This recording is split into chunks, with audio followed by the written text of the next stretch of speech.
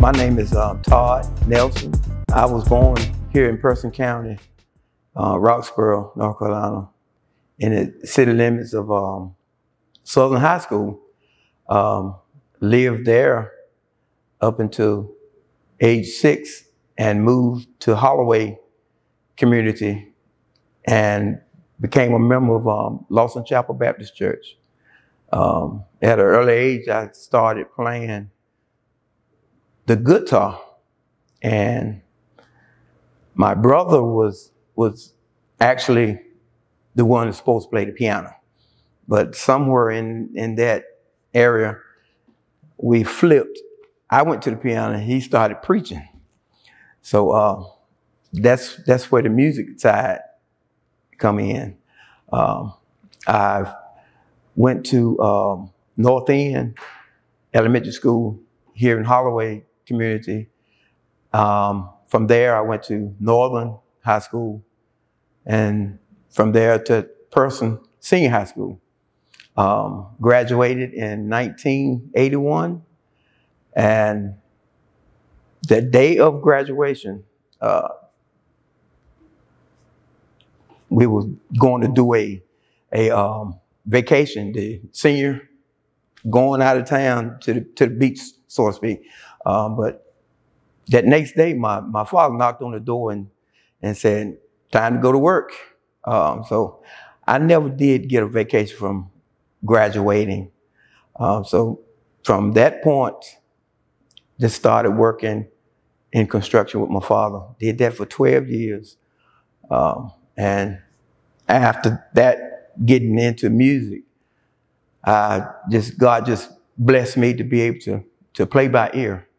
Um, so at, a, at an early age, there were a lot of family in this area. Um, the people here at Lawson Chapel were not only family members or members of the church, they were also your parents.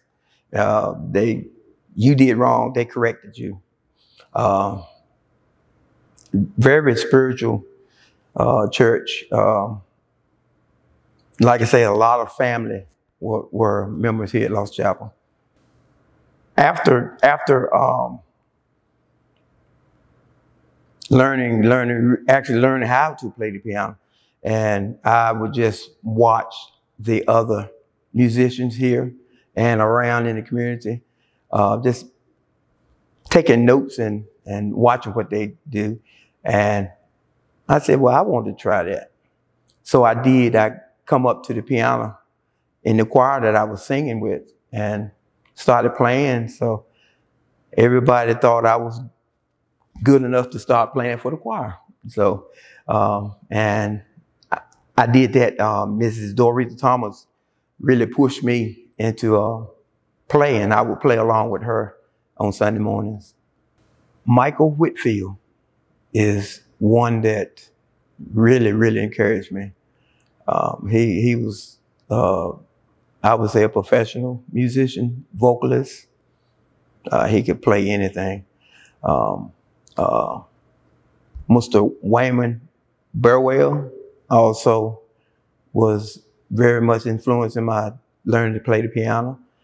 Actually, he was one of my teachers, and the funny thing about that, he would uh, he would give me work to do after after class, I, I go home and work on it. I come back and play what he showed me. And I'm doing a little bit more than what he had showed me. So that went on one more practice. And I come back the next day and I was a little bit more advanced than what he showed me. So he looked at me and said, he said, young man, you got it. He said, every time I give you an assignment and you come back, you are at the next level that I'm giving you. So he said, you on your way.